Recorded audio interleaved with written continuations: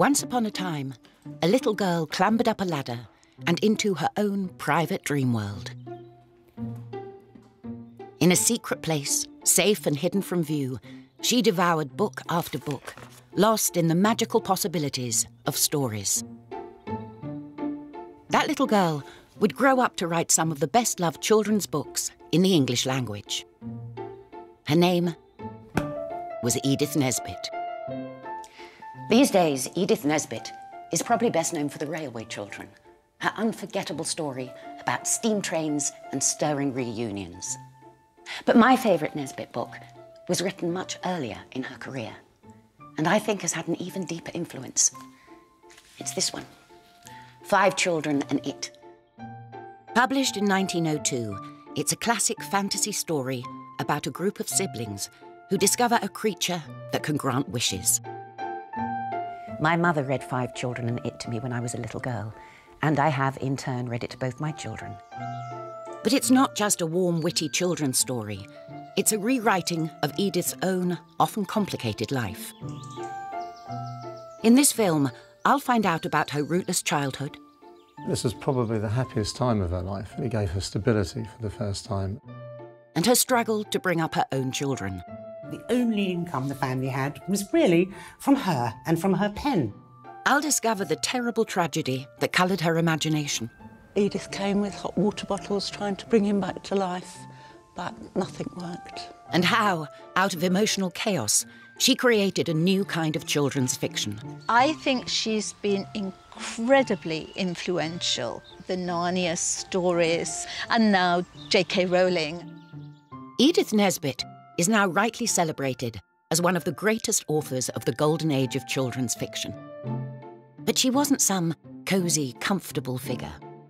This was a woman who dared to break the rules, both in how she wrote and how she lived.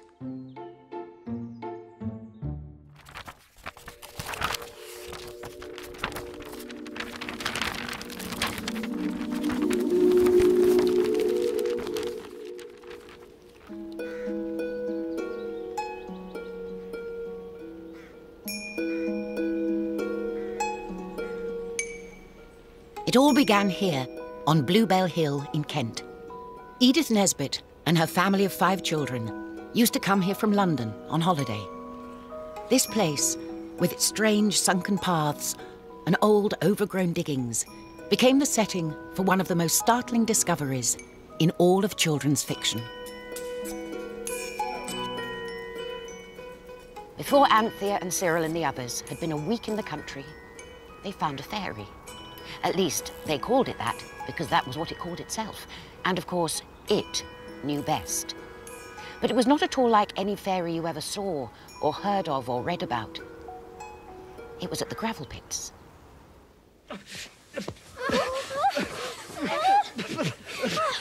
the classic BBC TV series depicted it as a kind of little hairy leprechaun.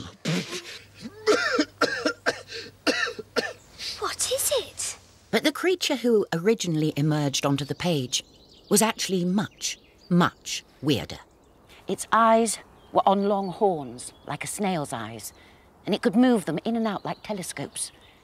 It had ears like a bat's ears, and its tubby body was shaped like a spider's and covered with thick, soft fur. Its legs and arms were furry too, and it had hands and feet like a monkey's. No wonder the producers decided to make it a little less bizarre.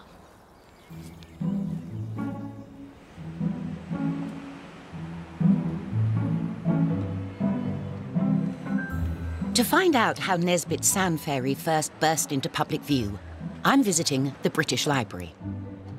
Here we've got the Strand magazine, and we're looking at an issue from April 1902. And we've got something called the Psammead or the Gifts. So it's not called Five Children and It? This is the forerunner of Five Children and It.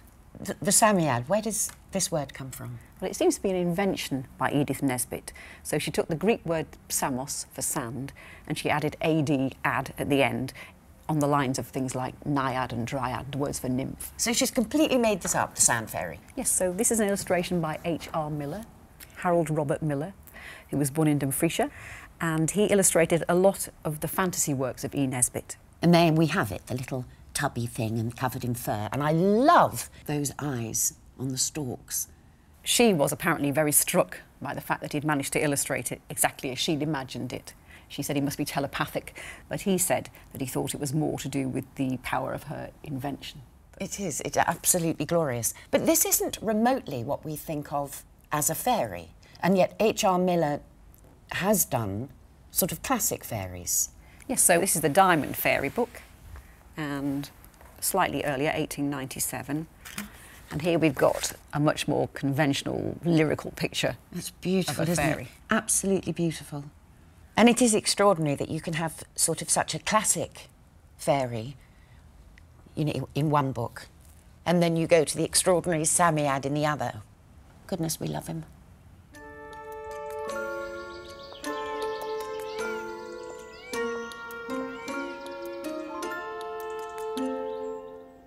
Nesbit's unfairy-like sand fairy might have been a brilliantly new invention, but it had its origin in a primordial world where both monsters and magic were in plentiful supply.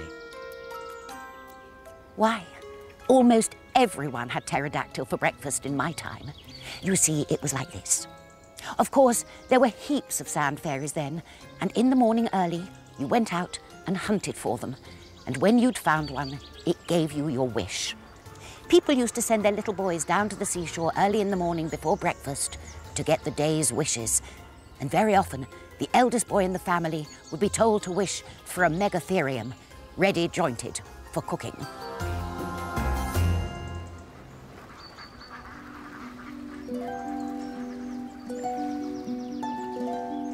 This was Edith Nesbit's favourite place to visit as a child Crystal Palace Park and its famous prehistoric beasts.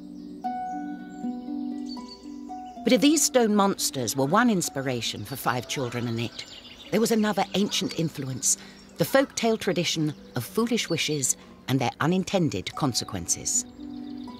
I dare say you have often thought what you would do if you had three wishes given you, and have despised the old man and his wife in the black pudding story, and felt certain that if you had the chance, you could think of three really useful wishes without a moment's hesitation. These children had often talked this matter over, but no one could think of anything. Only Anthea did manage to remember a private wish of her own and Jane's, which they had never told the boys. I wish we were all as beautiful as the day, she said, in a great hurry. The children's very first wish goes horribly wrong. Anthea, Jane, Cyril, and Robert become so unnervingly beautiful that their baby brother, unchanged by the Sand Fairy's magic, doesn't recognise them. And neither does anyone else. Of course, Nesbit can't leave her young characters in this fix forever. Her solution is to build in a sunset clause. By the end of the day, the magic will stop working. It's a neat plot device. Every morning brings the chance of a fresh adventure. But Edith Nesbit knew from bitter experience that even the most fervent hopes evaporate, and they don't always bring bright new beginnings.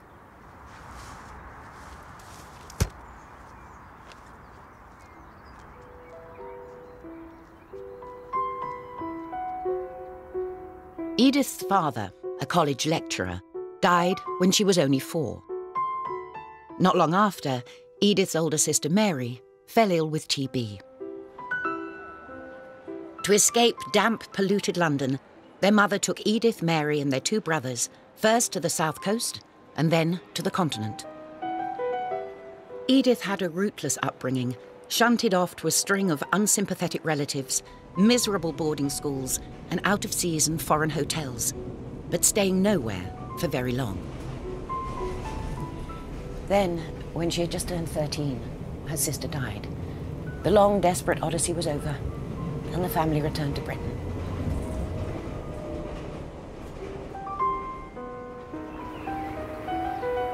And this was where they came Halstead Hall in the village of Halstead on the North Downs. I'm meeting Brendan McGurran, the current owner of the house. This was Edith's bedroom when she came to Halstead Hall. Oh, this is lovely, isn't it? And I think this is probably the first time that she had a room all of her own. Yeah, after all that travelling she'd done. And uh, one feature, it's not much, but the lock's still there from when she was in this room. Very important for a teenage girl. Lock your brothers out. Indeed. Um, just over here, there's references to her looking out over the shrubbery. Mm-hmm.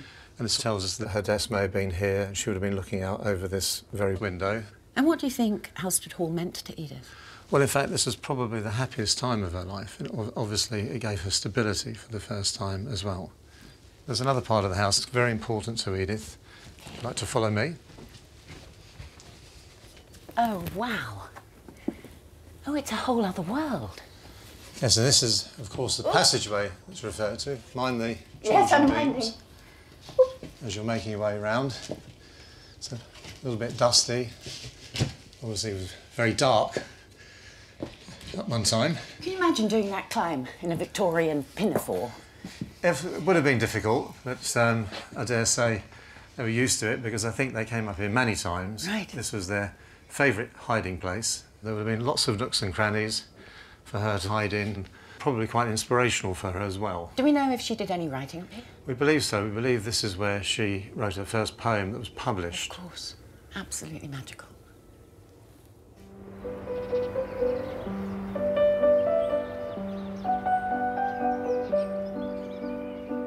By the time Edith left Halstead Hall at the age of 17, her literary ambitions had taken firm root. But although she would go on to write plays, reviews, romances, and of course children's stories, I think poetry was her first love. Poems appear all through Nesbit's children's books, and Five Children in It begins with a witty and poignant verse dedicated to her infant son. My lamb, you are so very small. You have not learned to read at all. Yet never a printed book withstands the urgence of your dimpled hands. So, though this book is for yourself, let mother keep it on the shelf till you can read. Oh, days that pass, that day will come too soon, alas.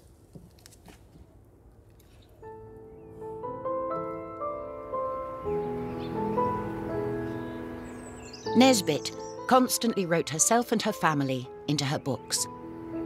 In Five Children and It, the young characters are barely disguised versions of her own children. The lamb in the story is Nesbit's youngest son, John, also nicknamed Lamb. He was just two when she began writing the story. Cyril is Nesbit's eldest son, Paul Cyril. Anthea is her daughter Iris, and Jane and Robert are the other siblings, Rosamond and Fabian. Like Edith's real children, like children everywhere, the siblings squabble constantly, simmering with resentment and frustration. When landed with having to look after their baby brother, they wish for someone else to take him off their hands. Oh, what a pretty little thing. Come for a walk with me. Nesbit turns child abduction into an absurdly comic set piece. Drive on.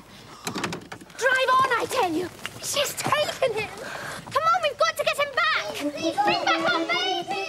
But Nesbit's brilliance is to use fantasy and humour as a way of exploring the very real anxieties of children's lives. Best-selling children's author Jacqueline Wilson is a huge fan of Edith Nesbit, and she's written her own reimagining of the Sand Fairy story Four Children and It.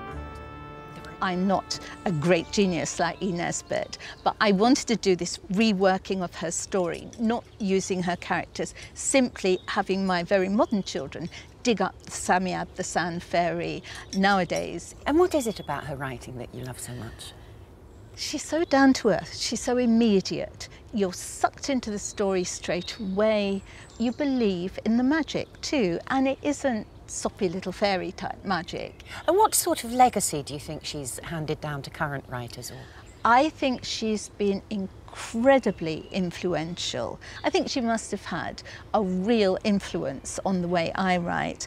And I think this whole tradition of mixing up magic and real, well characterized children. I mean, the Narnia stories, and now J.K. Rowling, you know, you have Harry Potter. So I think she started something that will hopefully just go on and on and on. But also, the thing that you both have in common is writing for children, but based in sometimes the harsh realities of life. Just because it's a fantasy book, I still want the children to um, be real children and sometimes sad things happen. My main characters, Rosalind and Robbie, their parents are split up and so they go from home to home. But then there's a little girl, Maudie, echoing E. Nesbit's wonderful lamb character who's quite serene. It's because her parents are, are together, together still, and, and everybody just adores her. I wonder if you could read for us the moment when your children meet Psammead for the first time. Certainly. She's Maudie, our little half sister, I said. Half a sister? said the creature. Do you say that because she's half your size? No, because we're only half related. We've got the same dad, but Maudie's got a different mother, I said. Hmm. Family life seems particularly complicated nowadays, said the Psammead. And indeed it is complicated. And that's reflected in Edith's own life. Yes.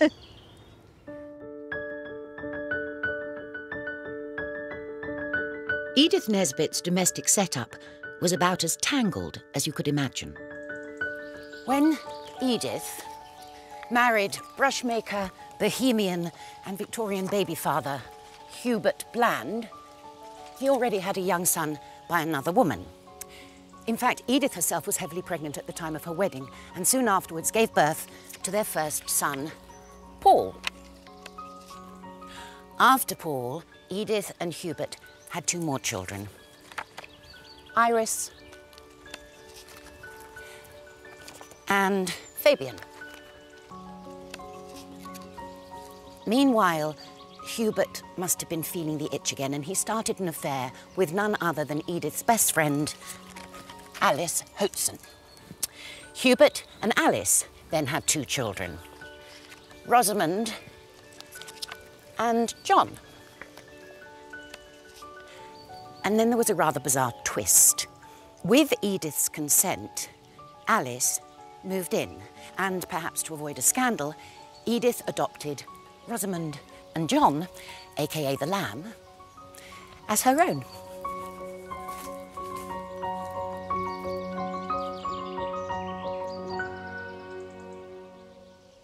It's tempting to see Edith as a victim in all this, but the truth, as always, is more complicated. Of course, she must have felt desperately hurt and betrayed by the actions of her husband and best friend. But I think Alice's arrival in the household might have been a kind of godsend. In contrast to Edith's bouts of high drama, Alice was a rather unassertive character, happy to remain in the domestic background. With Alice acting as housekeeper, secretary, and affectionate auntie to the five children, Edith was free to pursue her literary career, her political passions, and her love affairs.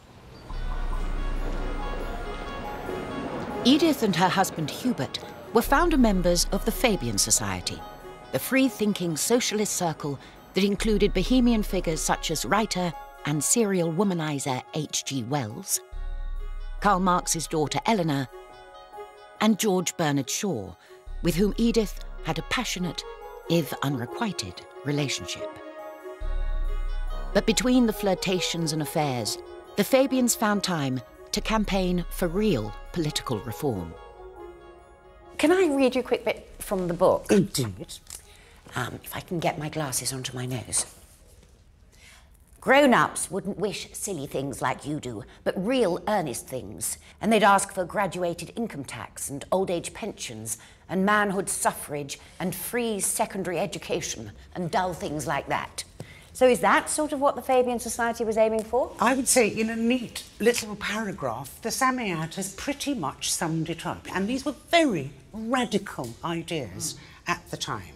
Modern children have grown up with the welfare state. They've grown up with a safety net.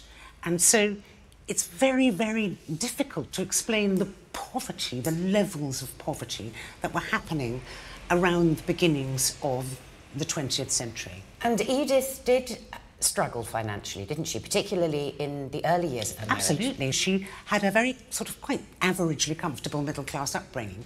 Then when she married, Hubert suddenly became ill, suddenly lost all his money, and the only income the family had was really from her and from her pen. But it was only towards the end of her 30s, the end of the century, that she discovered her enormous talent for writing amusing stories for children. And five children is somehow, I suppose, the logical explosion of talent. And what is so appealing about it, and which was to me, and I'm sure generations before me, was the idea that the children wished for what I would have wished for. You know, beauty, money. I mean, they wish for loads of money. They wish for, yeah. Um, so she's a socialist, but she's quite firm about, of course, people want money, you know, and I think she was very honest about all the wishes that she knew we'd all have. What's today's wish? We want to be rich. Beyond the dreams of something or other. Avarice. This place full be enough? Oh, yes, yes. Then you'd better get out, quick, or you'll be buried in it. Quick, quick! I hope your whisker will be better tomorrow. Thank you. In the book, Edith warns of the perils of being swamped by riches, whilst revelling in piles of gold. And much good may it do you. But despite having her cake and eating it, her commitment to Fabianism ran deep. Just a year after the Society was founded, she publicly and permanently declared her commitment to the cause by naming her newborn son Fabian. And it was Fabian who Edith gave a starring role to in Five Children and It.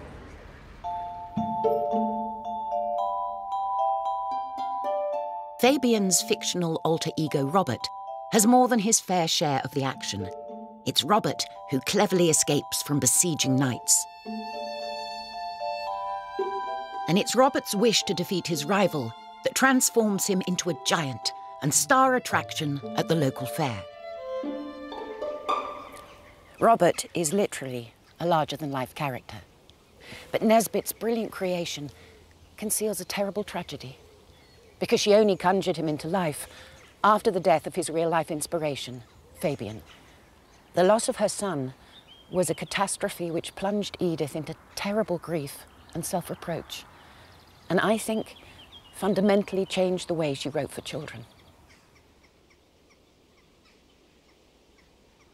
Margaret, thank you very much for coming to talk to me, and I just wanted to know a bit more about Fabian's death.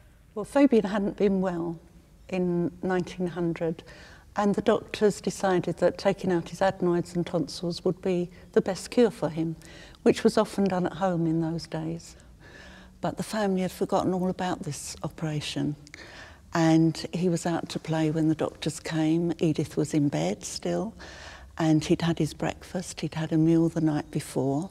So everything completely wrong for chloroform. Oh.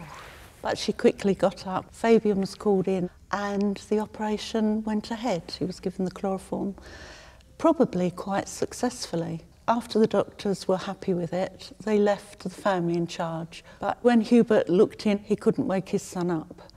And he rushed to Alice and said, I can't wake him up. I think he's died. Oh. But Edith came with hot water bottles, trying to warm him up again, bring him back to life. But nothing worked. And do we know what caused his death? He choked on his own vomit. So in, even in those days, they knew that before an anaesthetic, you shouldn't eat? Absolutely. It must be devastating for a mother to know that sort of you had caused something. Absolutely. She must have blamed herself entirely. But do you think that it's had any impact on her writing from that point on? I think it did because she moved away from stories of everyday life and brought in this magic element. And we know from H.R. Millar, her illustrator, that she based um, Robert on Fabian. So perhaps in her mind she was wishing she could use the magic to bring her son back.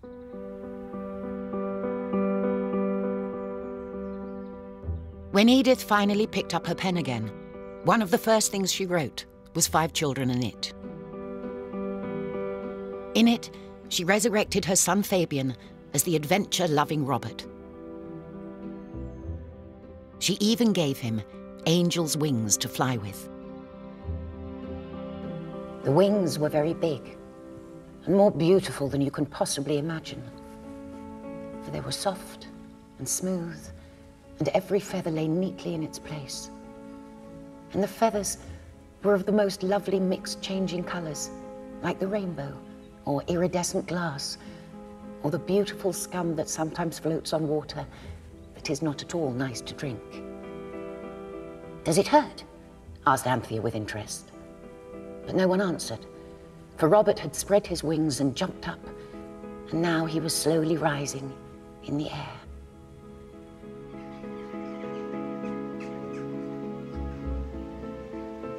Grief, guilt, and intense, unanswerable yearning formed the emotional backdrop to Five Children and It.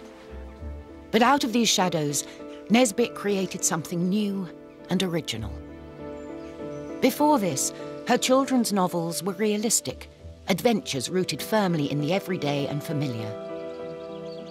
Now, magic and fantasy came increasingly into play.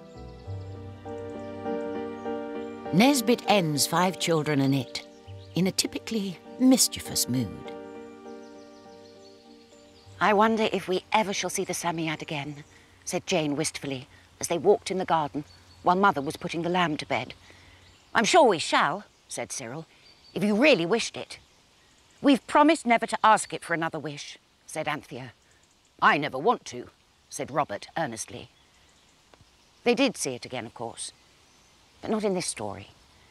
And it was not in a sand pit either, but in a very, very, very different place. It was in a... But I must say no more. Edith Nesbit lived up to that promise. After Five Children and It came two more books which featured the wish-granting sand fairy, The Phoenix and the Carpet, and The Story of the Amulet. Even non-magical books like The Railway Children, with its fantasy of a family reunited, contained a deep sense of longing. But none of her later works revolved quite so completely around the idea of wishfulness as Five Children and It. It's hard not to turn the pages of this book and imagine that this is how Edith would have liked her life and her children's lives to be. It's the story of children set free from everyday rules, who have to learn the consequences of their heart's desires, but never suffer the consequences for too long. Edith may have blamed herself for failing her family, but to generations of children, including me, she was the very best of friends.